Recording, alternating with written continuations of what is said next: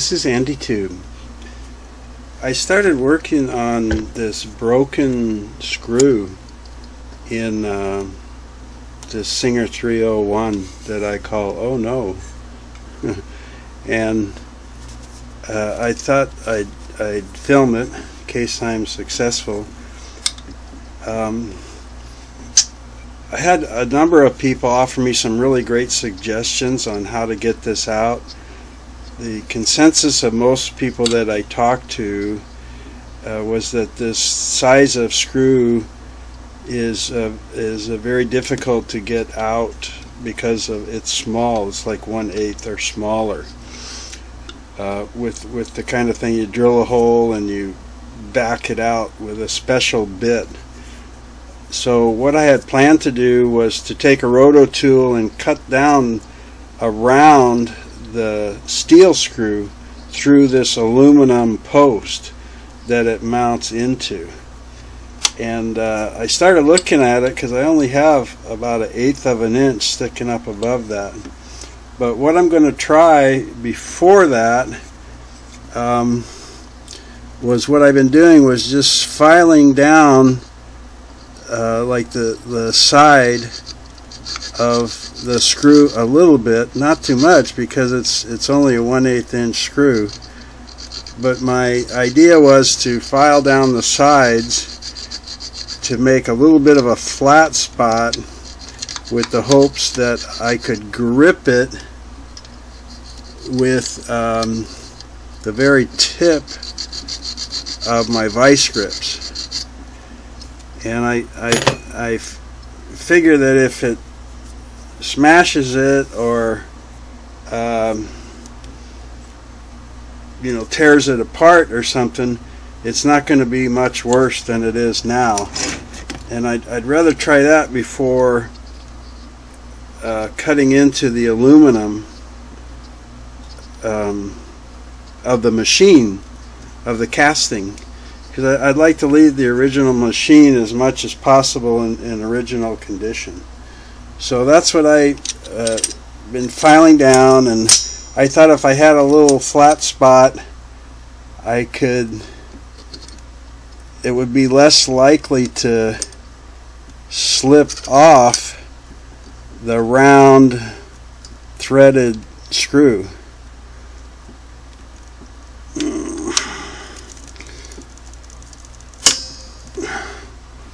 So uh, that's what I'm doing. we'll, we'll see if it works here. Uh, oh, I heard a little snick like when the screw uh, breaks free.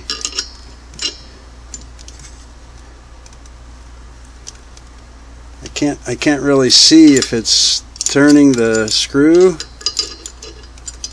or if, if just the vice grip is turning on the screw. So let me give it a couple turns here and see if I can get part of it in the let's see if I can just turn this by hand now it looks like the screw is actually turning um, does it? Yeah, I'm starting to see a couple of threads. Wow, I think this is going to work and I am really relieved because this is not my machine. And I've never had this happen before but it looks like it's definitely coming out. Oh good deal. So I guess that little tiny bit was just enough up. Did I speak too soon I think I twisted it off, but I've got I've got more I can grip on now. I got more than a quarter inch exposed now. So let me see if I can get it on here and ugh. and uh, yeah. I'm really happy that this worked because I, I didn't want to have to uh, damage the casting on the machine bad enough I broke the screw. But there it is.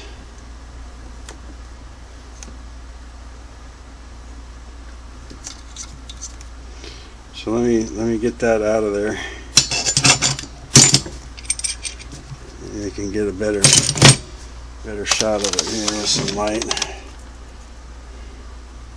I really didn't have this set up good for filming because I, I didn't even think about filming it until I filed down.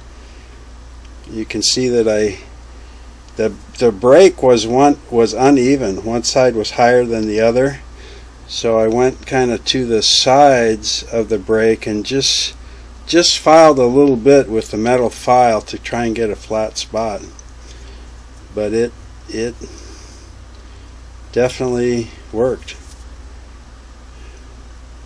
How about that? Wow.